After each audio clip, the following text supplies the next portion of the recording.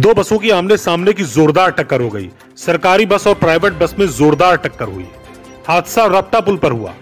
बसों के शीशे टूटकर सड़क पर गिर गए। अच्छी खबर है यात्रियों को चोट नहीं आई। हादसा सीतापुर के जहांगीराबाद रप्ता पुल पर हुआ। बताते चले कि सरकारी बस रेवसा की तरफ़ से आ रही थी और दूसरी प्राइवेट बस बिस्वा की तरफ़ से रेवसा की तरफ़ जा रही थी। तभी ज़बरदस्त टक्कर हो गई। दोनों बसों को भारी नुकसान हुआ है। वहीं साइड में खड़ी बुलेरो भी क्षतिग्रस्त हुई है। पुलिस ने सभी वाहनों को कब्जे में लेकर आगे की कार्रवाई शुरू कर दी। गाड़ी उधर से आ रही थी। हाँ। और इधर आके बुलेरो खड़ी रहा हाँ। ऊपर झमझमा के पहुँचा अपन उठा के उठा से लड़ाई थी प्राइवेट बस वाला। प्राइवेट बस वाला।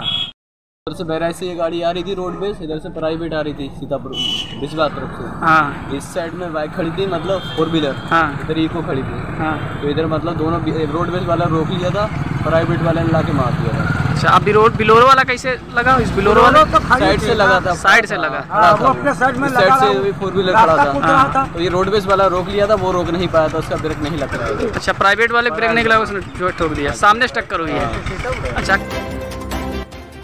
जहांगीराबाद से सुनील शर्मा और बिस्वा से आशुतोष तिवारी के साथ bureau report, Star News.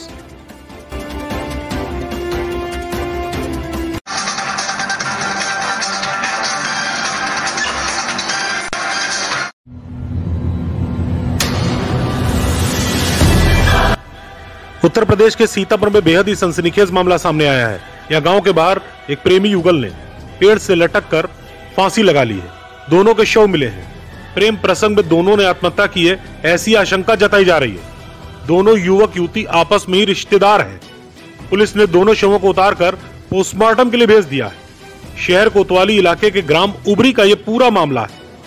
Police अधिकारी मौके पर हैं और हर पहलू पर अब जाँच की जा रही है। यह दोनों प्रेमी युगल ने फांसी लगाकर खुदकुशी कर ली है।